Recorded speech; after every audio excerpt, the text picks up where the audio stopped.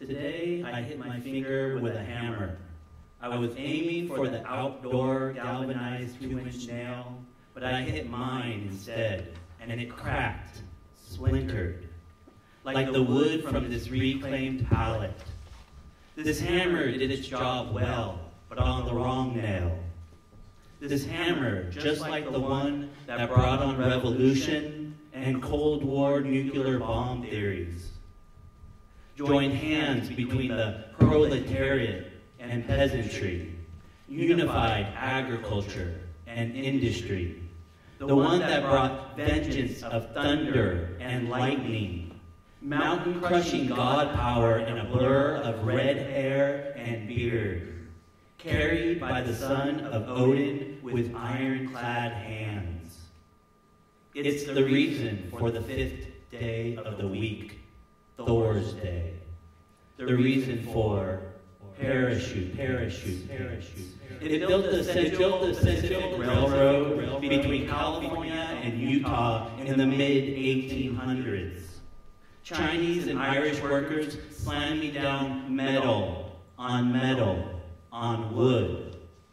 I'm not sure if they worked side by side in the same struggle or not, but what I am sure of is if I had a hammer, I'd hammer in the morning, I'd hammer in the evening, all over this land.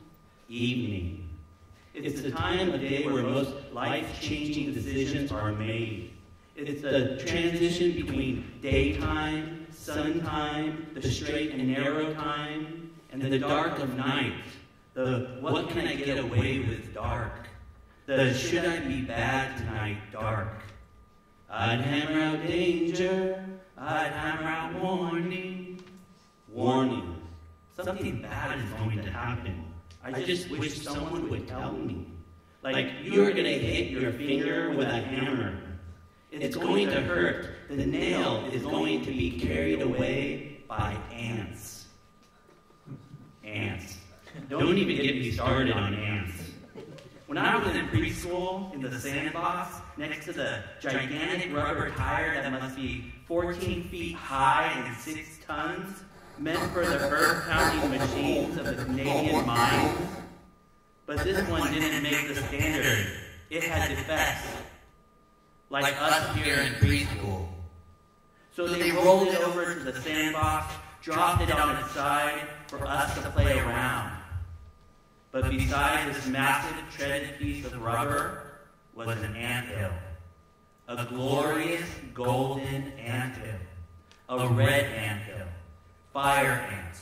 Tropical fire ants. Genus Solenopsis. My best bud Bodie and I couldn't let these ginger ants take over our turf. So we stomped and jumped and kicked, and our little legs couldn't move fast enough. But theirs sure could. They scurried up over knees and fleshy thighs, and in shorts and over bellies, and stung, and stung, and stung. And then the nurse hung our clothes over the medicine cabinet as she picked each and every one off and applied ointment and shame and shame and embarrassment, embarrassment, embarrassment. This was my first lesson, my failure, failure. And for 25 years after that, I avoided trying much of anything that could result in failure. I worked on the middle of the road and the within my reach, and I got by, and no one noticed that I was hiding from the one thing that could hold your face down to the grime and grit of a pavement gutter, or lift you, make you great. And I didn't notice that I was just bored. If I had a hammer. So I bought one. Actually, I bought more than one. I bought a steel claw hammer, dead blow hammer, checker face angle hammer, a smooth hardwood mallet, steel velocity hammer, bricklayer hammer, milled axe hammer, steel drywall hammer, hickory ball peen hammer, a forged steel sledgehammer. And I started revolutions, and thunder, and railroads, and musical phenomena. And you know what? I failed. and it felt so good. So I swung away, failure flattering all over me, gushing, oozing, comically spraying as though Quentin Tarantino had taken over as director of my life. And here I am, covered in yellow paint and splinters and sawdust and sunburn, and I'm building a table. A table that will hold a hot toddy on a cool California winter night in our backyard by the fire pit. And I'm not sure if it will outlive me or fall apart by tomorrow morning. And I'm not sure if this fingernail will ever grow back. But it's my reminder that even just for a day, that everything is built upon failure. Everything. Even these words you hear now and in this performance. Tonight.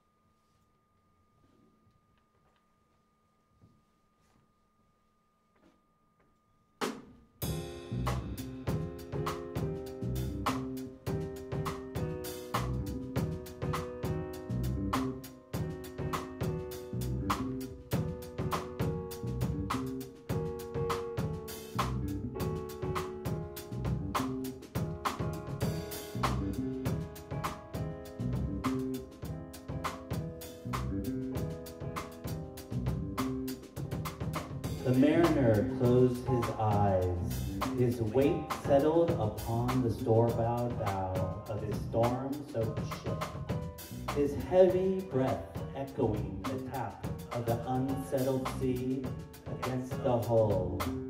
He knew this wasn't over. He knew that his will ran deeper than the murkiness below. Yet he never questioned the passion of his sea a darkness that cradled his vessel as easily as it would a meandering flame. As the mariner slowly opened his eyes, he could see fragments of himself in shapes below. The gray of his beard masked by the cold, endless shadow of the sea. Yes, my friend, I remember, the mariner boat, staring down through the thermocline. I wasn't always so combative, not always so determined to have it my way. He thought back to his younger years, before the ocean turned him gray. When in the middle of his rage, the mariner would simply lie ahull and let the storm take him wherever it wanted. And the young mariner was happy to drift.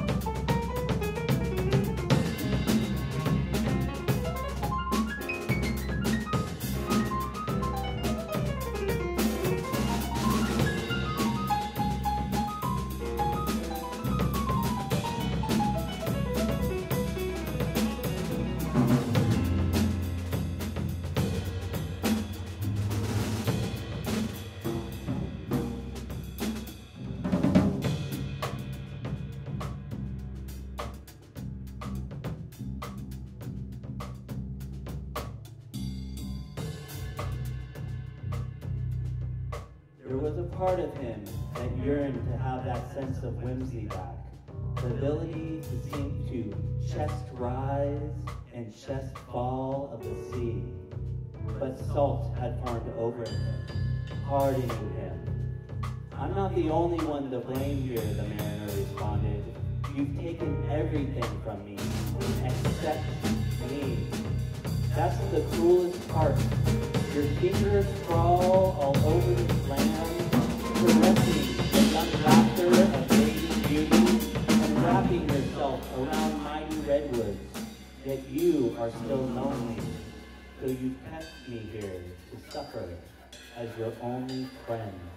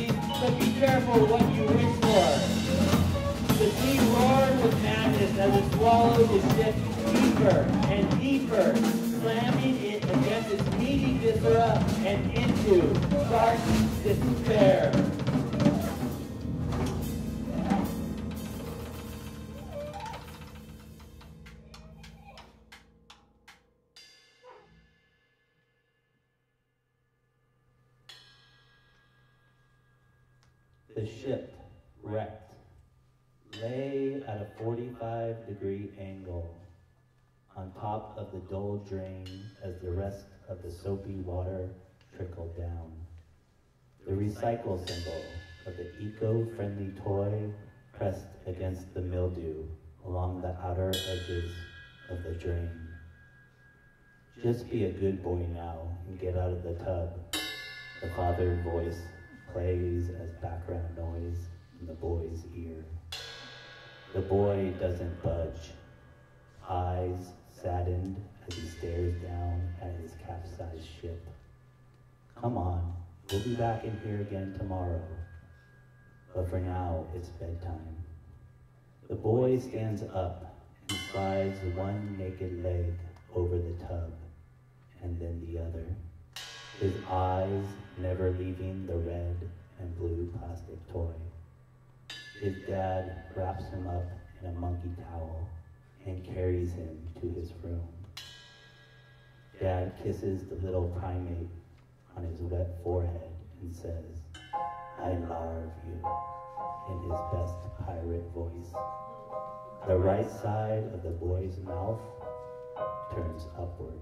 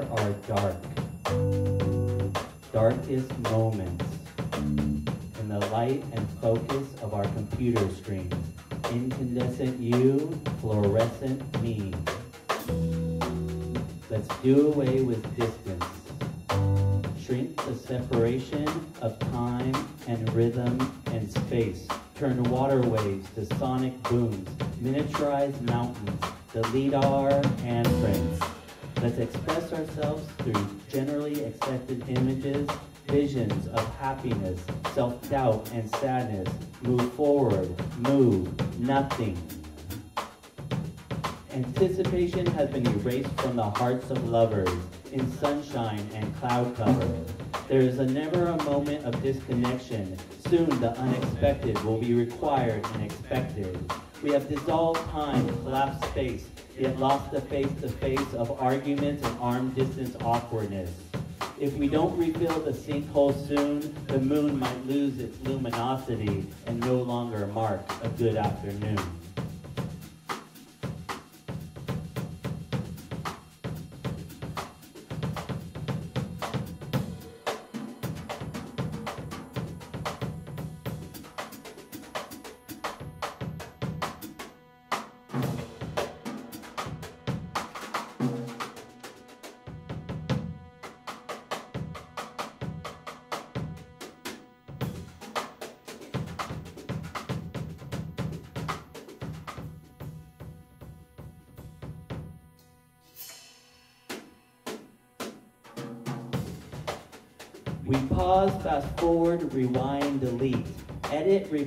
And again repeat. The side by side has become light years apart. We are losing our sense of navigation, how to read the wrinkles on a fate, how to chart uncharted territories, how to be lost, unravel, and fray.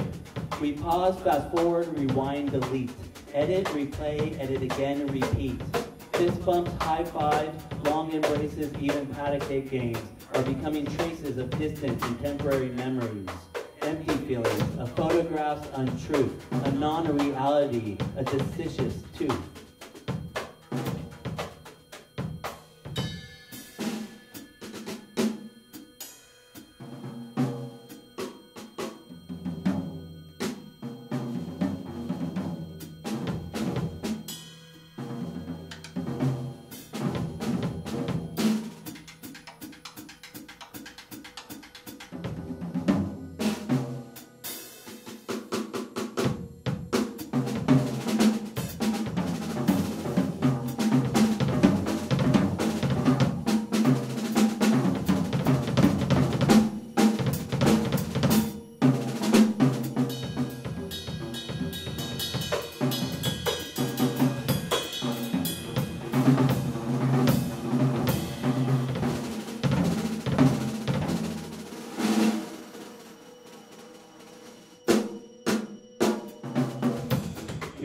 Creatures of flesh and dirt and tears, of toes and scars and nails and ears.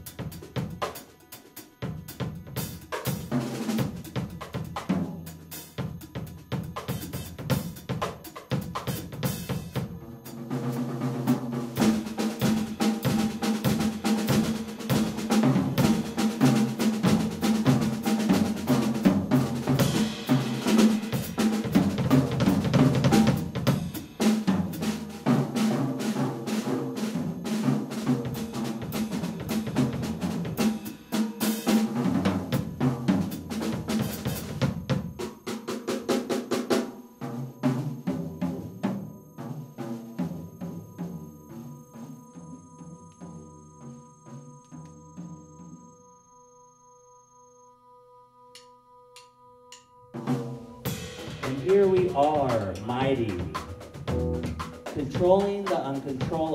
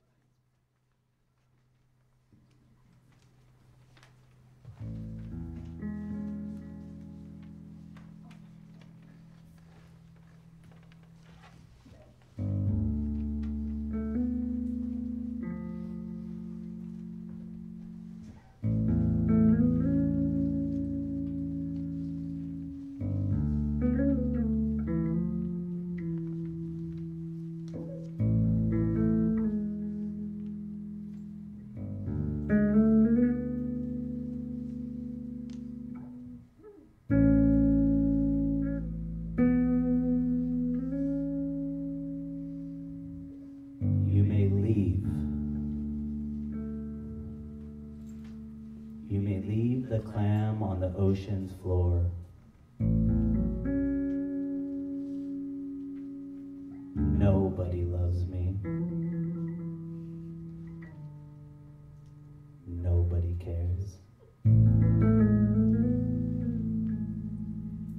Nobody picks me peaches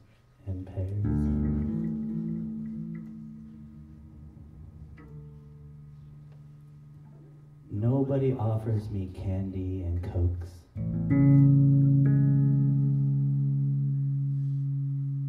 But it's all the same to the clown.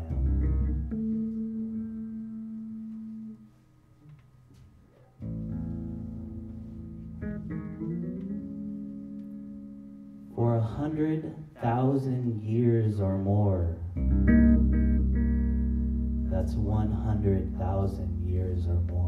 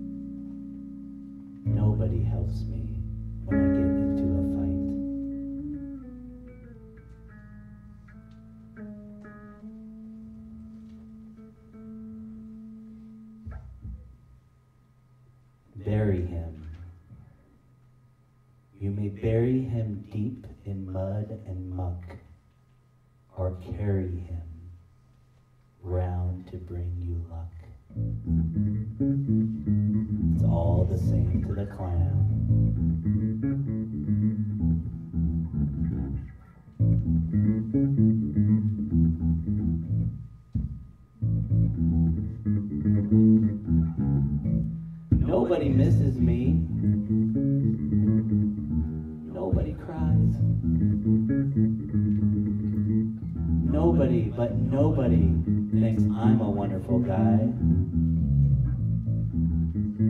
But it's all the same to the clown. Call him Jim, call him Frank, call him Nell, or make an ashtray from his shell. It's all the same to the clown.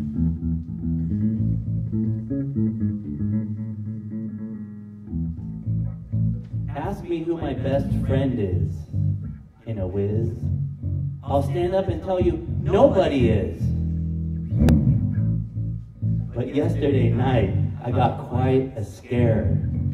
I called out and reached for nobody's hand in the darkness where nobody usually stands. But it's all the same to the clown. You may take him riding on the train or leave him sitting in the rain. You'll never hear, you'll never hear, you'll never hear the clam complain. Because, like I said, it's all the same to the clam. Then I poked through the house in each cranny and nook, but I found somebody each place that I looked.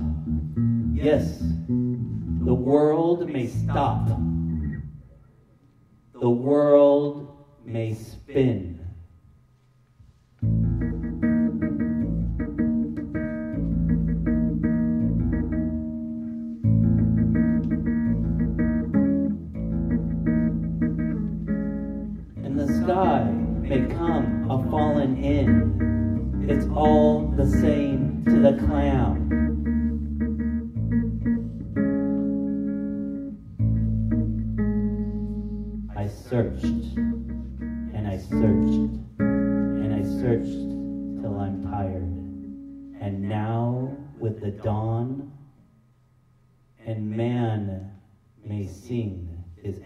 Songs of wronging rights and righting wrongs. But the clam just sets and gets along. It's all the same to the clown.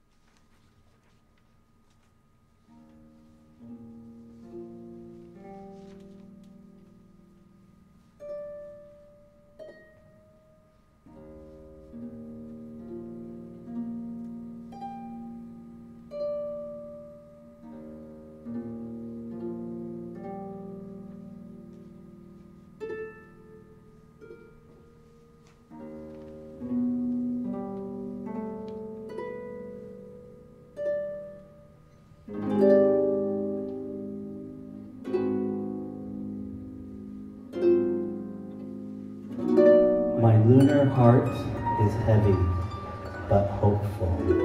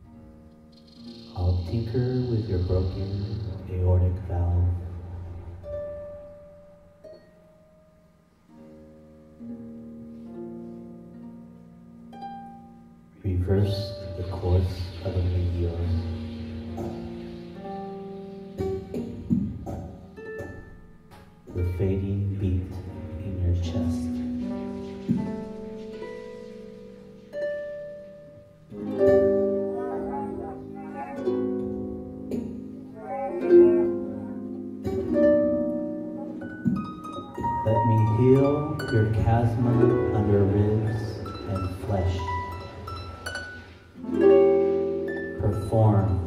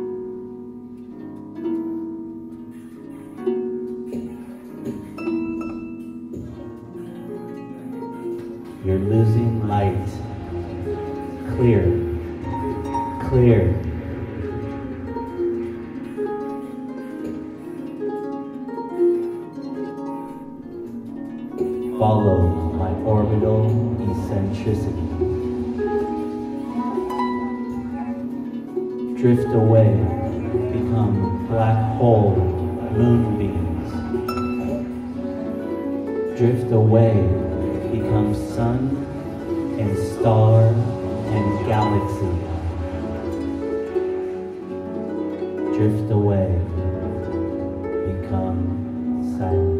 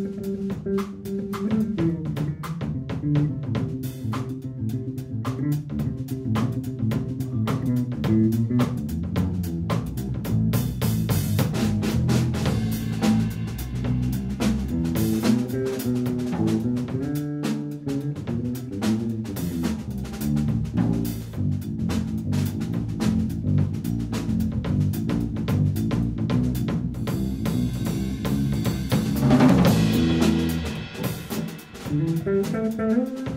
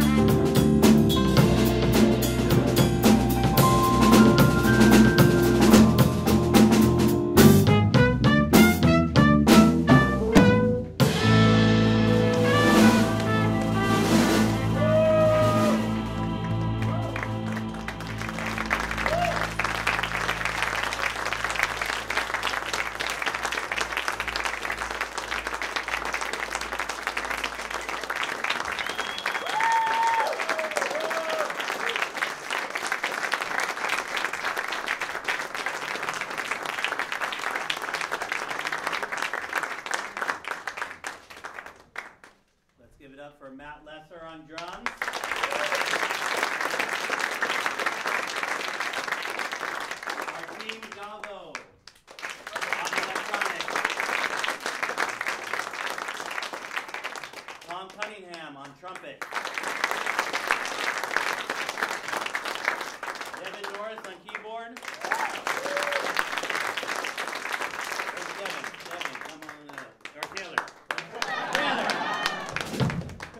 Franno